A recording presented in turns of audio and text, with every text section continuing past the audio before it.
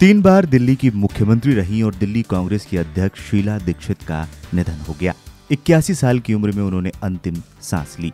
शीला दीक्षित राजधानी दिल्ली में कांग्रेस का सबसे भरोसेमंद चेहरा थी।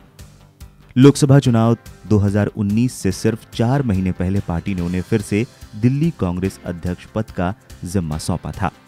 लोकसभा चुनाव 2019 में उन्हें कांग्रेस ने उत्तर पूर्वी दिल्ली सीट से चुनावी मैदान पर उतारा था।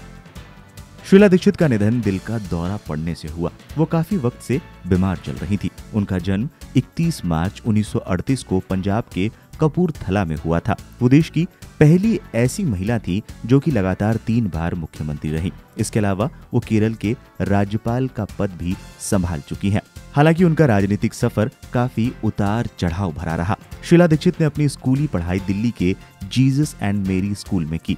जबकि ग्रेजुएशन और पोस्ट ग्रेजुएशन की पढ़ाई दिल्ली के मिरांडा हाउस कॉलेज से की।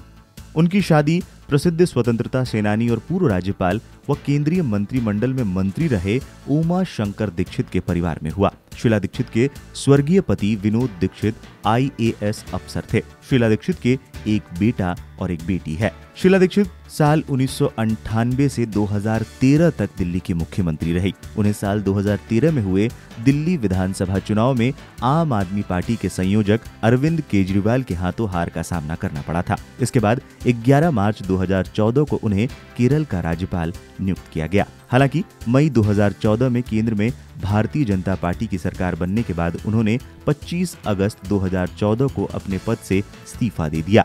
शीला दीक्षित उन्नीस से लेकर उन्नीस सौ नवासी तक उत्तर प्रदेश के कन्नौज से लोकसभा सांसद रही। उन्नीस से उन्नीस सौ नवासी तक वो राजीव गांधी के कैबिनेट में मंत्री भी रही। उन्नीस में आम चुनाव में दिल्ली की पूर्वी दिल्ली सीट से वो बीजेपी के लाल बिहारी तिवारी से हार गई। इसी साल दिल्ली विधानसभा के लिए हुए चुनाव में कांग्रेस उनके नेतृत्व में चुनाव जीतने में सफल रही। इसके बाद वो उन्नीस से लेकर 2013 तक दिल्ली की मुख्यमंत्री रही। शीला दीक्षित 1990 में अपने बिरासी साथियों के साथ 23 दिनों तक जेल में रही थी। वो अपने बिरासी साथियों के साथ महिलाओं के खिलाफ हो रहे अत्याचारों को लेकर आंदोलन कर रही थी। उनके आंदोलन के बाद हज़ारों लोग उत्तर प्रदेश की सड़कों पर उनके समर्थन में उतर आए थे। वहीं 1970 के दशक में महिलाओं के लिए दो हॉस्टल स्थापित करने में उनका अहम योगदान माना जाता है। तो कुछ ऐसा था शीला दीक्षित का जीवन और उनका राजनीतिक सफ़र। शीला दीक्षित ने एक लंबा समय राजनीति में बिताया। वो तीन बार दिल्ली की मुख्यमंत्री भी रही। राजनीति में रहने के दौरान उनके लिए फैसलों की वजह से भारतीय जनमानस उन्हें लंबे समय तक याद रखेगी।